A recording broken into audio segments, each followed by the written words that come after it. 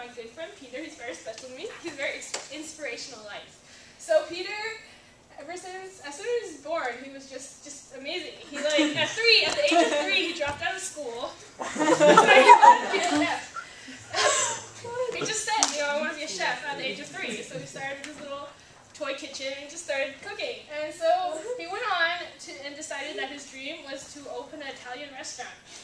So Peter's been working hard on that, and actually, he's got numerous awards. He's gotten several chef awards. He was on Iron Chef. I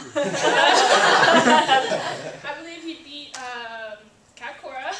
And I think he's just done a great job with his life, and I wanted him to give a speech to you guys about how sometimes when you want to do something, you should go with it, even if you're three. You should just do what you want to do.